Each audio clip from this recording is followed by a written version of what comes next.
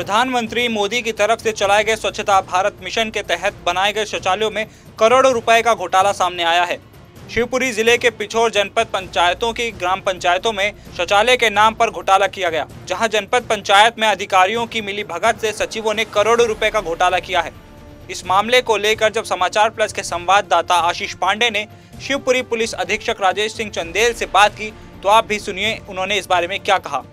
ये कल कुछ लोग मेरे पास आए थे जो सेसई गाँव के हैं। उनका ऐसा बताना था कि कुछ लोगों के अकाउंट में कुछ पैसे आए हैं जो उन्होंने कहीं किसी से किसी और ने डाले हैं। और इसलिए उनसे पूछताछ की जा रही है। क्या तो उनको ये शंका थी कि उनको मुलियम बनाया जा रहा है। इस बारे में जानकारी लेने पे ये पता लगा है कि थाना पिछोर में एक प्रकरण कायम है, जिसमें कुछ शौचालयों के निर्माण को फर्जी बताकर उसमें से कुछ पैसे निकाले गए। उनमें से कुछ पैसे इनके पास किसी तरीके से ट्रांसफ़र हुए हैं तो निश्चित तौर पर कोई व्यक्ति ऐसा है जो इन लोगों को इसमें इनके अकाउंट में पैसे डलवा के शायद बाद में पैसा निकालना चाह रहा है या कुछ लोगों से निकलवाए भी होंगे।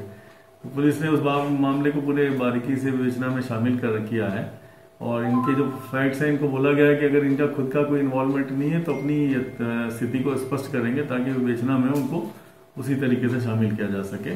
और जो व्यक्ति इसमें दोषी होगा जिसकी ये बदमाशी होगी जिसने पैसा डलवाया है या डाल के निकला निकाला है अवैध शौचालय वाले में तो उस पर कार्रवाई की जाए सर वो क्यों संचालक पर आरोप लगा रहे हैं? हाँ तो वो भी इसकी हमने पुष्टि हो जाए ज़रूरी है कि उस पर पुष्टि हो जाए उस पर कार्रवाई करें सर हमारे मतलब अकाउंट में मतलब वो बोल रहे हैं अकाउंट से पैसे निकल गए। मतलब पैसे आ गए तुम्हारे अकाउंट में मतलब चोर की वो आई थी पुलिस। कल आप मतलब लिस्ट लेके आई थी साढ़े पाँच सौ व्यक्ति की। तो उन्होंने बोला तुमने बारह हज़ार रुपये निकाल दिए इसमें से। तो वो देने हैं किसमें से निकाल लिए? अकाउंट से तुम तुम्हारे अकाउंट से। तो वो तुम्हें देना है। हमें यही मालूम नहीं है अभी तक कि हमारे अकाउंट में बारह हज़ार कब आए और कब निकल गए।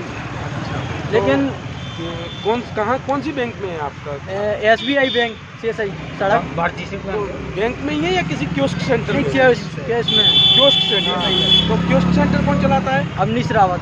अवनीश रावत से पूछा आपने कि कौन सा पैसा हमारे खाते में आया था और कौन सा निकल गया? पूछा था जो बोला था तुम्हें कुछ नहीं करना कहीं वो पैसे तो मैं दे दूँगा तो तुम क्यों दोगे पैसे? हमने बोला आवेदन करने जा तो कौन, कौन किस चीज़ के आए थे हमारे खाते में पैसे? तो बताता नहीं है ना। अच्छा आपने अपने बैंक स्टेटमेंट चेक किया आपके खाते में नहीं एंट्री नहीं करता वो सर एंट्री नहीं करता। वो। तो अब आप यहाँ पे क्या आवेदन देने आए हैं। हमारी सुनवाई हो सर हम कहा से गरीब लोग हैं? कुछ लोगों के तो ऐसे हैं वो मर चुके हैं उनके भी नाम आए उसमें। पुलिस कल आए कहाँ से आए थे? पैसा कब निकालने की बात कर रहे हैं वो लोग?